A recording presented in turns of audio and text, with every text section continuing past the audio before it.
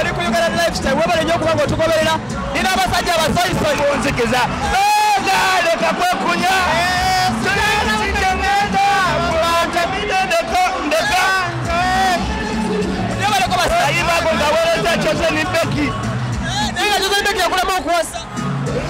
baleko muwasa eh, eh, waka tawera. Waka wani mutonotono akabadde nga takibulamu kale muganda wange ono yaŋamba mu teyagenda wanakakande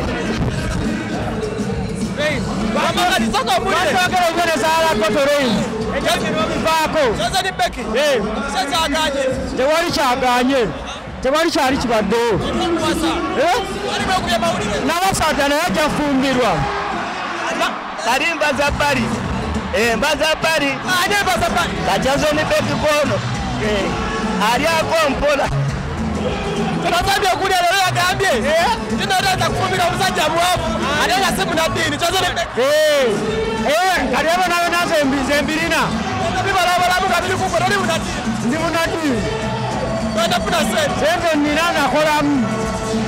Ate bakona wasadda tayinza kufumbirwa musajja nga alina akyala babiri. Ajja kufumbirwa ajja balaga omusajja kakomando saboni. Ndi bulungi papa. Awanya kakomando banna njagala okwebaza abantu okuwagira spice diana. Katugende ku stage fe tudakawuza